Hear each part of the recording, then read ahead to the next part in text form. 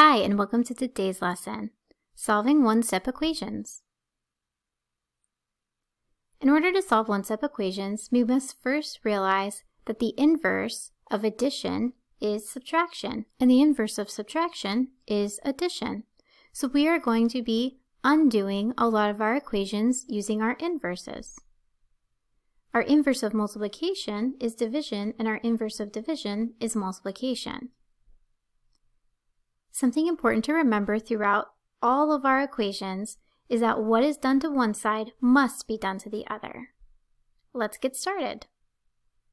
Our first equation, x plus 4 equals 29. Our first step is to isolate the variable. So here I have my x is right here. And I'm going to isolate my variable by asking what operation is being done to the variable. Well, I can see it's being added by 4. So what is the inverse operation of addition?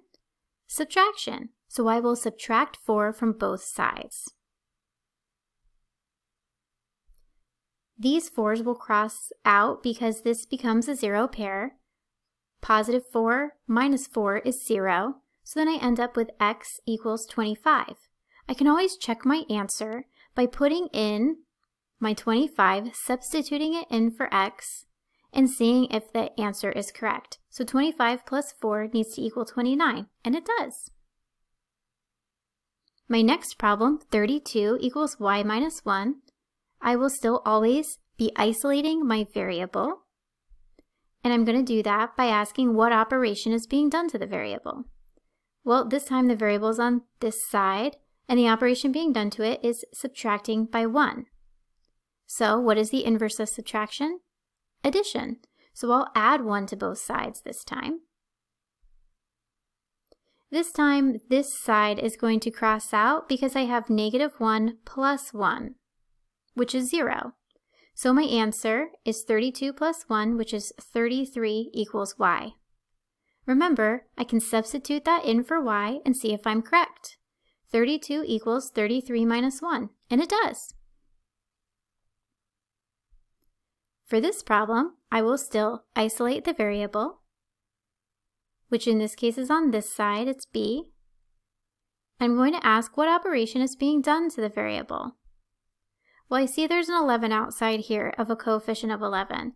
Remember, when a variable is next to a number, and it has a that means it's its coefficient, it means to multiply. So what is the inverse of multiplication? Division. So I'm going to divide both sides by 11. I always want to use a fraction bar to show division with equations, instead of using the normal division symbol.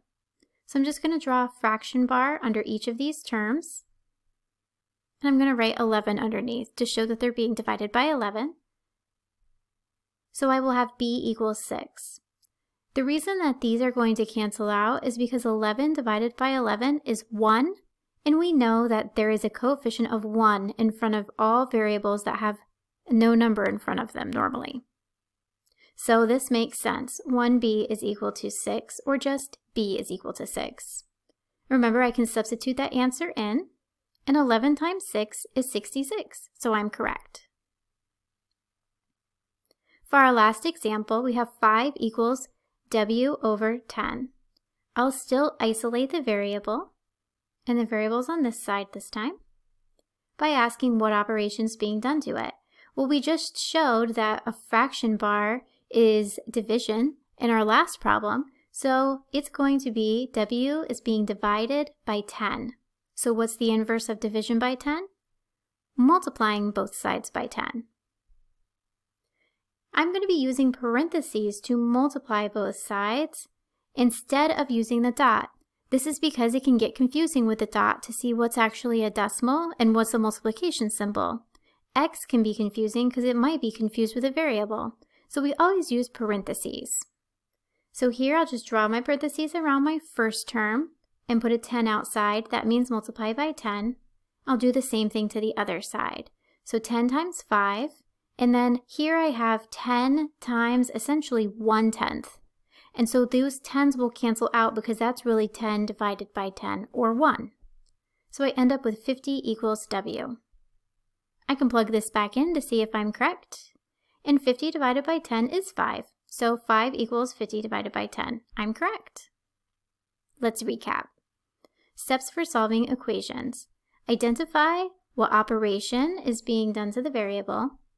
Do the inverse operation to isolate the variable. And repeat the operation on the other side of the equation. That wraps up our lesson. Thanks so much for tuning in.